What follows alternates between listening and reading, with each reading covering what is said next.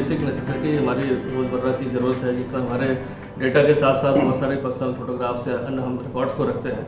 और जब मोबाइल खो जाता है किन्हीं परिस्थितियों में तो कहीं ना कहीं इस पर दिक्कत आती है।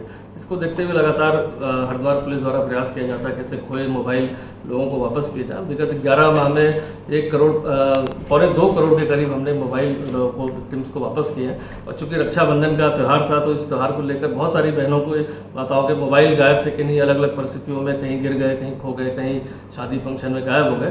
तो ये कोशिश थी कि इस बार रक्षाबंधन पर ज़्यादा से ज़्यादा मोबाइल को वापस करके लोगों को एक तोहफे के रूप में दिया जाए। तो आज भी करीब छाछठ लाख से के करीब कीमत के मोबाइल वापस किए गए जिसमें हमारी बहुत सारी बहनें हैं जो आज रक्षाबंधन पर उनको एक तरह से कहा जाए कि वापस करके उनको एक खुशी दी गई है। और निरंतर हमारे साइबर सेल का प्रयास रहेगा कि जो अभी मोबाइल नहीं मिले हैं विक्टिम्स के, उनका भी प्रयास करके जल्दी से जल्दी उनको हैंड किया जाए।